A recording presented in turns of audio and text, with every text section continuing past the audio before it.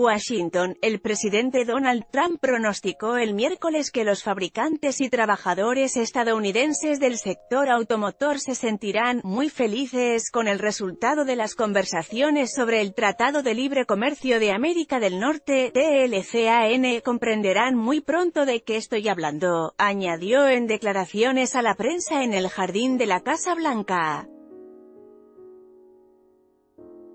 Foto A previamente había tuiteado que, próximamente habrá grandes noticias para los trabajadores del sector automotor. Trump dijo que ha sido muy difícil tratar con México y Canadá y que no está complacido con sus pedidos. Pero, añadió, ganaremos, y ganaremos en grande. El secretario del Tesoro, Steven Mnuchin, ha dicho que la renegociación del TLCAN, el acuerdo entre Canadá, Estados Unidos y México, podría prolongarse hasta el año próximo.